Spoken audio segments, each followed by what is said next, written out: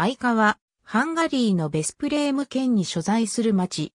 この地には、紀元前1000年頃からケルト人が住んでいたが、2世紀頃からローマ帝国が征服し、マジャル人が10世紀頃まで統治していた。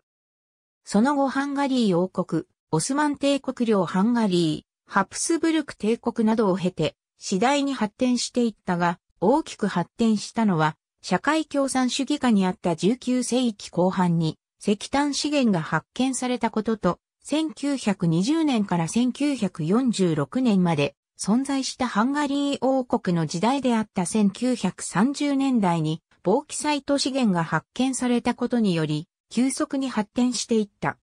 また、1937年には、世界初の白熱電球に使われるクリプトンの工場が愛花郊外に建設されている。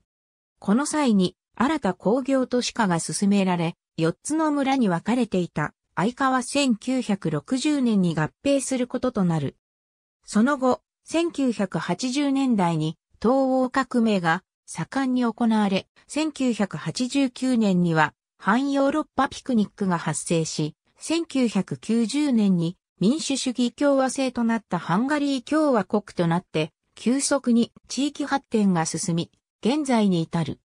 ちなみに、愛花の名前がついたのは、ハンガリー王国を統治していた、イシュトバーン一世及び、火のギーゼラに従属していた騎士の名前と言われており、早くとも11世紀から1214年に、愛花の名前が記載されていたとされる。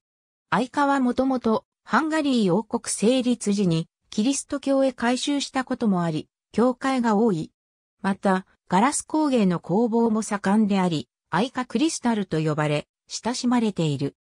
中央ヨーロッパ夏、時間2010年10月4日12時25分頃、同地の郊外にある、ハンガリーアルミナ生産貿易会社のアルミニウム、生成工場にあるアルミニウムを生成する際に発生する酸化鉄の赤泥廃液を貯水する池の堤防が決壊、貯水してあった赤泥廃液約100万立方メートルが流出し、廃液が周辺地域に流れ込んだ。